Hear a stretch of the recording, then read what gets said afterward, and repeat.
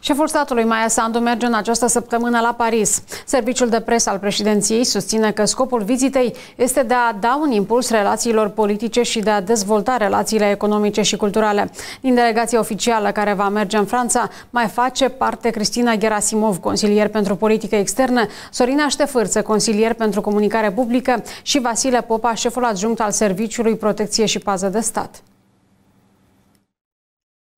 În capitala Franței, Maia Sandu se va afla două zile. Președintele se va întâlni cu liderul francez Emmanuel Macron, cu șeful Senatului Franței Gerard Larcher și cu membrii grupului de prietenie Franța-Moldova. De asemenea, sunt preconizate întrevederi și cu mai mulți membri ai cabinetului de ministri. Vizita va începe pe 3 octombrie. Asta este a treia deplasare peste hotarea Maiei Sandu, în timp ce mulți moldoveni sunt nemulțumiți că proaspătul șef de stat nu a ajuns încă în niciun raion al țării. Ar fi de dorit câteodată în țară să facă ordine și pe urmă să plece prin țările străine. La noi în țară doar e un haos. Noi în primul rând și în primul rând trebuie să facem ordine în țara noastră. Și totodată de la toate țările care sunt toate prin prejurul noastră, Mejughești, de la Ruși, de la, nu tot, la Europa, să strângem așa și bun. și bun. Și să facem la noi în țară. Și apia că atunci la noi și ordine în țară. Ia ca asta. Dacă stâmplăm noi să ne ducem la șela, la șela, la șela, să cheltuim bani, dar eu fost premier-ministru. Oameni buni, dar și neujeli el nici chiar nu, nu știu ce să face.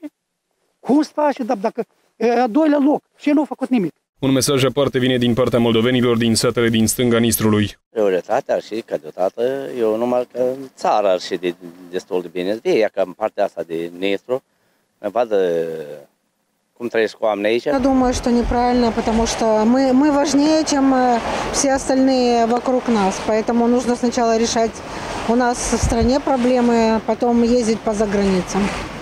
У нас с Приднестровьем нерешенные проблемы.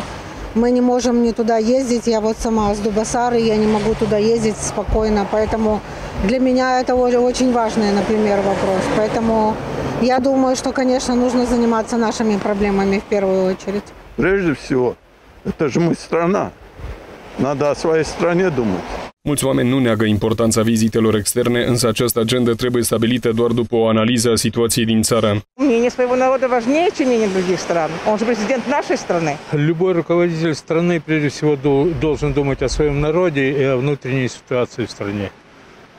А уже дальше соответственно, исходя из этого, строить свою внешнюю политику. Сначала нужно насущные дела решить. У нас нет правительства.